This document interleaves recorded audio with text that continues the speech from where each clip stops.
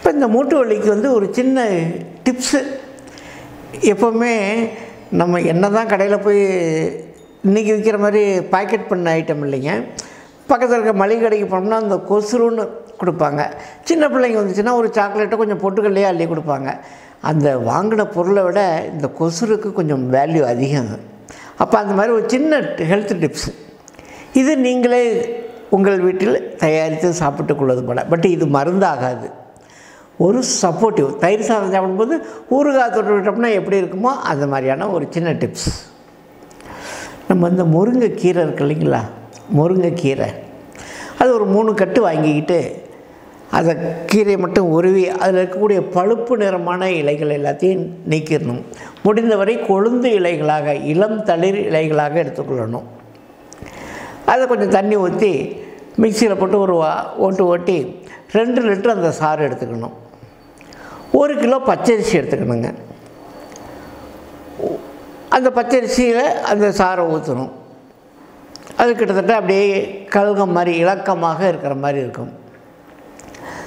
அது கூட ஒரு இரநூறு கிராம் பாசிப்பயிறு கொஞ்சம் மிளகுத்தூள். இதில் கொஞ்சம் கூட சேர்த்துக்கலாம். கொஞ்சம் ஸ்மெல் வரணுங்கிறதுக்காக ஒரு ரெண்டு ஏலக்காயும் தட்டி போட்டுக்கலாம். தட்டி போட்டுக்கிட்டு இதை அப்படியே நல்லா அப்படியே லேசாக கொஞ்சம் வேக வச்சு அரைச்சி அது வேக வச்சு காய வச்சு அரைச்சி பவுட்ரு பண்ணிக்கோங்க. இதில் வந்து நாலு அல்லது ஆறாக இதை பிரித்து கொண்டு